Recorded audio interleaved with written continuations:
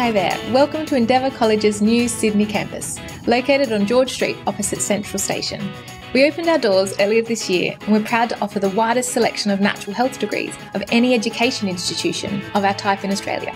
Our light filled Sydney campus provides a dynamic and vibrant space for students studying Bachelor of Health Science degrees in nutritional medicine, naturopathy, and musculoskeletal therapy. And from next year, we'll also be offering our popular acupuncture degree.